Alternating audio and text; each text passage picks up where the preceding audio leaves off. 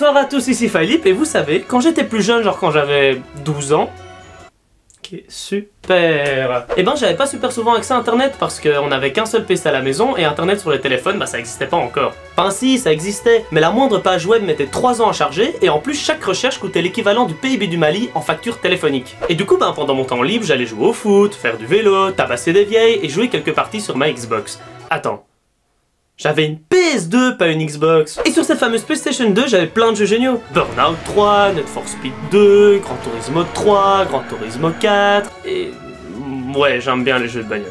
Mais c'est surtout sur le dernier jeu que j'ai passé le plus clair de mon temps. Je suis resté des journées entières à faire les diverses épreuves, et surtout à tenter de finir les épreuves d'endurance de 24 heures. Mais genre vraiment 24 heures, hein, où j'essaie de tourner la console dans le vide pendant 3 jours en faisant des pauses à intervalles réguliers, histoire de dormir un petit peu. Mais parfois quand on est gosse, on est chiant, et du coup on demande à papa et maman de venir nous acheter un nouveau jeu pour faire mumuse avec. Et vu que la seule expérience vidéoludique de mes darons se résume au solitaire sous Windows XP, bah pour acheter un nouveau jeu, on n'avait pas 36 solutions, on avait surtout deux solutions. Primo, le fait de voir si le nom m'évoquait quelque chose genre F1 ou Ferrari, et deuxio, comme le dit GDG, Le pire des moyens, c'était de se fier à la jaquette. parfois ça marchait, comme Rumble Racing sur PS2 par exemple, qui fait partie de mes jeux préférés et dans lequel on pouvait faire euh, ça. N'empêche que je plains quand même le pilote à l'intérieur.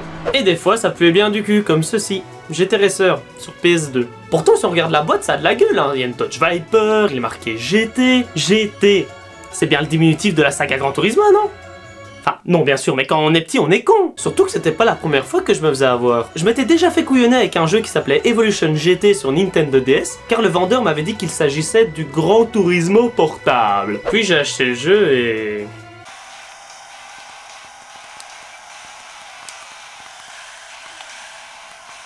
Même si c'est pas moche pour une DS, c'est même plutôt jouable, c'est surtout au niveau du contenu que je m'étais fait biter. Vu que le jeu, il a que 12 bagnoles. 12. A titre de comparaison, le vrai Gran Turismo portable en comptait 830. Et il a coûté... 45 euros. Mais bref, pour revenir à GT Racers, mon père me l'avait offert euh, quand j'étais plus jeune, il devait coûter quoi 12 balles Du coup, bah, moi j'étais super content, en plus j'avais un nouveau jeu, du coup... Mais bon, j'ai joué récemment, et comme vous en doutez, c'était pas très bon. Avant de démarrer le test, il faut savoir que GT est développé par Oxygen Interactive, un studio anglais qui a déjà accouché de super jeux comme Hysteria Hospital Emergency Ward ou encore Robin Hood's Quest, qui est apparu dans un JDG d'ailleurs. Allez, lançons le jeu, voir ce que ça donne. Oui. Je joue debout. C'est parce que j'ai des hémorroïdes. Bref, le jeu se lance et on va commencer par une petite course simple, histoire de voir les bases de la conduite. D'abord, on configure 2-3 options, on met son pseudo, on sélectionne un des circuits, qui sont d'ailleurs au nombre de 10, c'est pas beaucoup. Tiens, je vais prendre le circuit de Paris. Et ensuite, on choisit notre engin. Un truc marrant, c'est que vu qu'ils ont eu les licences, mais que c'est quand même des gros plagiats de voitures qui existent, bah ils nous ont laissé l'occasion de changer leur nom. Comme ça, on peut soit se mettre en mode sérieux et retaper les vrais noms, ou se la jouer humoriste approximatif et s'amuser un petit peu en tapant genre n'importe quoi, en inventant des faux trucs, ou encore en donnant des noms qui ne correspondent pas, genre dire que ça, c'est une Fiat 500. Bref, au final, j'ai pris la voiture rouge parce que la voiture rouge va toujours plus vite, et donc la course se lance et. Putain, déjà c'est moche. Très moche même, sachant que c'est sorti en 2004, soit la même année que j'étais à San Andreas ou de mon sacro-saint Gran Turismo 4. Ah bon, on va dire qu'ils avaient pas le budget, que les graphismes ça fait pas tout, mais. Malgré tout, il y a un truc que j'explique pas. C'est apparemment un circuit qui se situe à Paris. Sur la petite carte de sélection du circuit, il y a même la Tour Eiffel. Mais en jeu... Ah, vous la sentez l'atmosphère parisienne là? Bah, je sais pas, quand je pense Paris, je pense... euh, Champs-Élysées, euh, glamour et personne désagréable. Mais pour le jeu, c'est plutôt gratte-ciel, autoroute et apocalypse nucléaire vu qu'il y a absolument personne dans les rues. Enfin, je veux dire, il y a pas un être humain dans tout le jeu. Je veux bien que j'ai fait une blague cliché sur les parigots, mais fallait pas tous les tuer pour autant. En plus, c'est même pas genre, il y a une tribune remplie de pixels ou quoi pour donner un semblant d'animation. Non, nada. Et pourtant, je passe par plusieurs monuments super connus comme l'Arc de Triomphe, mais non, il y a personne. C'est une course en circuit fermé qui réunit des Ferrari, des Bugatti et tutti quanti. Et il y a personne pour se pointer même pas les écolos pour faire interdire la course Cette blague n'est pas sponsorisée par Youth for Climate. Enfin bref, enfin bref, oublions ça, on s'en fout, euh, parlons plutôt du gameplay, voilà, du gameplay. Non, déjà, euh, comment je fais pour changer de vue, moi? Select? Non. Triangle? Non. Rond? Ah non, ça c'est la vue arrière. Non, non, mais putain, dans n'importe quel jeu de bagnole, il y a moyen de changer de vue Et ici, j'ai essayé toutes les combinaisons de touches et... y a rien. Dans les jeux normaux, une simple pression sur un bouton suffit à changer de vue. Même les jeux les plus pourris que j'ai proposent au minimum deux vues. Une vue par choc et une vue poursuite, où la caméra est derrière la voiture. Mais là non, y a rien. Rien. Et je rappelle que j'ai acheté ce jeu quand j'avais 12 ans. Hein.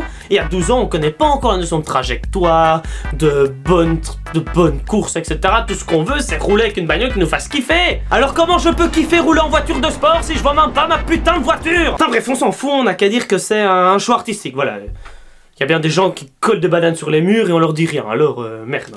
Enfin bref, malgré cette vue de merde, j'ai quand même fini la course et je me suis rendu compte qu'il manquait peut-être quelque chose. Enfin, j'ai fait trois tours de circuit, hein, j'ai pas l'impression d'avoir vu, je sais pas, la putain de Tour Eiffel. Et c'est la même chose pour ce que je suppose être le Louvre. Enfin, je sais pas, il manque pas quelque chose selon vous? Allez, je vous aide. C'est pointu et c'est principalement composé de verre. Et cette flemme dans la réalisation, elle est partout en plus. Genre, vous avez déjà vu un immeuble parisien avec 27 portes, vous? Ou encore les distances entre les monuments. Enfin, je veux bien, c'est un jeu vidéo, c'est pas censé être hyper réaliste, mais il y a des limites. Prenons la distance entre le Louvre et l'Arc de Triomphe. D'après Google Maps, 4,7 km les séparent. C'est-à-dire qu'il faut plus ou moins 13 minutes pour faire la jonction. En théorie. Et dans GT Racers, combien de temps faut-il?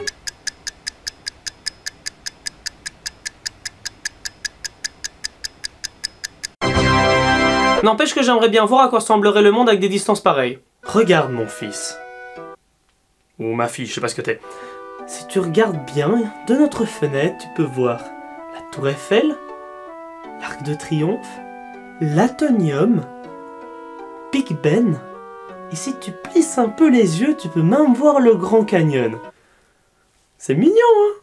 Mais bon, passons, c'est pas tout ça parce qu'on n'a pas encore parlé de la maniabilité dans le jeu. Comme tout le monde sans doute, la maniabilité est totalement à chier. Les voitures sont incontrôlables, on a constamment l'impression de l'éviter à 20 cm du sol et surtout, bordel, je suis plus souvent dans le mur que sur la route. Et en plus de ça, il y a aucune subtilité dans la conduite. Genre dans Burnout 3 par exemple, c'est hyper bourrin, mais il y a une gestion du boost à avoir, faut savoir maîtriser les drifts, éviter Mais ici, y a rien, genre pas de gestion de turbo, pas de drift, non, rien. C'est le mot qui sied le plus à ce jeu, rien.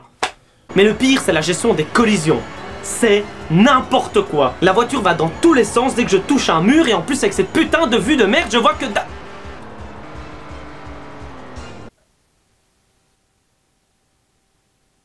Ok, donc lors d'un accident assez violent lors de certains bugs, la caméra va se placer derrière le véhicule. Ma question est donc la suivante. Pourquoi les développeurs se sont fait chier à coder une caméra poursuite si jamais on peut pas la sélectionner en jeu? Je vois pas d'autre explication non plus. Et c'est pas fini au niveau des bugs, hein, rassurez-vous. Je pense que ces images parlent d'elles-mêmes, non? Genre des fois, avant même le début de la course, le jeu se met à bugger et puis ça devient n'importe quoi. Mais bon, si on devait lister tous les bugs du jeu, j'en aurais pour 20 ans. Mais malgré tout ça, vu que je suis con, ben le jeu, je l'ai fini. En deux heures. Ah, c'est pas beaucoup. Ça dépend pourquoi. Faut dire qu'il y a seulement 3 championnats à finir dans tout le jeu et seulement 2 voitures à débloquer. Et vous savez, d'habitude, les voitures bonus, c'est des trucs sympas. Genre parfois, c'est des trucs totalement débiles comme des caravanes ou des avions sur roues. Et parfois, c'est des véhicules super classe avec les stats boostés au max. Et dans GT Racers, une BMW Z3, ce qui est déjà un peu bizarre, et une Honda CRZ. Euh. Pourquoi pas, hein, mais. Pourquoi? Enfin, j'ai rien contre ces voitures-là, elles sont très mignonnes, mais c'est des véhicules qu'on a au début du jeu, pas comme ultime récompense. Pour moi, c'est comme si la meilleure équipe dans un FIFA c'était Saint-Marin. Bref, ce jeu est une arnaque totale, même à 20 balles. Enfin non, surtout à 20 balles en fait. Et j'en parle vite fait, mais en plus cette version PS2, il existe une version Game Boy Advance. Ouais. La version stylée, moi. Et dans cette variante portable, pas de course en vue pare-choc dans des villes buggées jusqu'à la moelle, mais une conduite en vue hélicoptère dans des environnements variés, comme un désert ou une campagne. Le gameplay n'a d'ailleurs rien à voir avec son homologue PS2. Les voitures sont faciles à prendre en main et l'ensemble est même plutôt agréable à jouer. Et même si on peut se dire que le jeu a assez mal vieilli, il faut remettre la chose dans son contexte et se dire que ce jeu a été entièrement réalisé par des membres du forum Player Advance, qui sont donc des amateurs. Et pas dans le sens péjoratif, hein, mais dans le sens non professionnel, c'est-à-dire que ce sont des gens qui n'ont pas reçu de formation sur la création et le développement d'un jeu vidéo. C'est-à-dire que ce jeu Game Boy Advance codé par 2-3 personnes dans leur garage est mieux que celui-ci codé par une vingtaine de professionnels Bref, tous les gars qui ont bossé sur le jeu GBA ont tout mon respect, en particulier Mike GBA, qui si j'ai bien compris est l'initiateur du truc. Mais du coup, pour revenir au jeu PS2 et enfin terminer ce test, on a en droit de se demander Pourquoi ça pue autant la merde Bah en fait faut pas chercher bien loin, surtout quand on voit que la société Oxygène, qui a publié le jeu, avait la fâcheuse tendance de sortir des trucs avec le minimum de budget possible. Soit ils exploitaient des licences libres de droit comme avec Robin Hood Quest ou The Quest for the Aladdin's Treasure, soit ils lançaient des quasi-copies de jeux populaires comme avec Perfect Ace, qui voulait surfer sur la mode des jeux tennis de l'époque et qui contenait des joueurs mondialement connus comme Ivo Prica, Jimmy Diesel ou encore le fameux Philippe Hérault qui a visiblement mangé trop de flanc. En gros, c'était juste un studio fauché qui faisait des jeux fauchés. Mais vu qu'ils avaient des titres hyper racoleurs, ben, des petits consommateurs se faisaient attraper. Comme moi. Voilà, ce premier épisode de Speed Test est dès à présent terminé, j'espère qu'il vous aura plu. Ouais, j'ai appelé machin Speed Test parce que c'est des tests de jeux vidéo et ça, c'est sur les voitures, du coup, voilà, voilà, voilà, voilà. Pff, vie nulle. Et du coup, cette émission se concentrera sur des tests de jeux vidéo avec pour thème commun, encore une fois, les voitures. Et du coup, si vous voulez m'en proposer ou quoi, y a pas de souci, mettez-le en commentaire. Et n'hésitez pas aussi à liker, à commenter du coup, et aussi à partager la vidéo, c'est ce qui me ferait plus plaisir. Et on se retrouve bientôt pour une prochaine vidéo. Ciao